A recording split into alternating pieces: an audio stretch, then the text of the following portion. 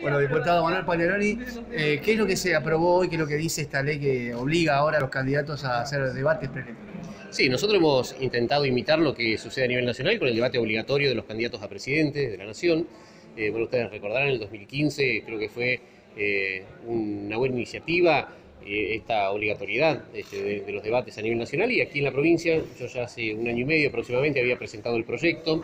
Hace poco tiempo el diputado Turiñán presentó uno con la misma finalidad y lo que se hizo bueno, fue trabajarlo en la comisión. Y de los dos proyectos eh, se obtuvo un único dictamen en el cual eh, establece que los candidatos a gobernador eh, que sean oficializados por el Tribunal Electoral Provincial deban asistir a un debate y en caso de que no lo hagan, el partido político que representan perdería la posibilidad de recibir fondos para la campaña y fondos para el funcionamiento de los partidos políticos y para la impresión de boletas, porque entendemos que esto es una cuestión que eh, se debe garantizar y que nadie puede poner una excusa este, para no asistir.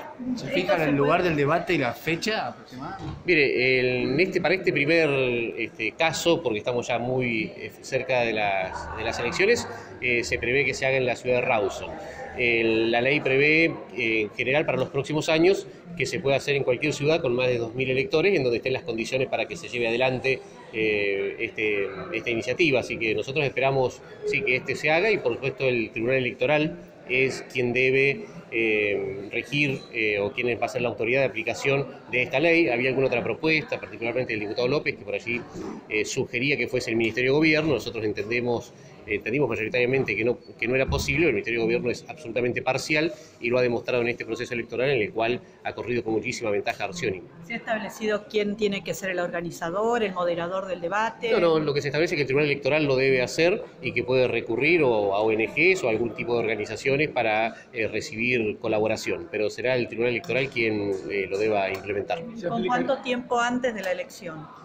Mire, nosotros prevemos que se haga dentro de un plazo razonable, yo no recuerdo exactamente los días, en este caso se va a dar seguramente eh, para la última semana este, previa a las elecciones. ¿Se aplica entonces en este turno? Sí, sí, nosotros lo, aprobamos ahora para que sea aplicable en este turno electoral. Siempre y cuando sea promulgado.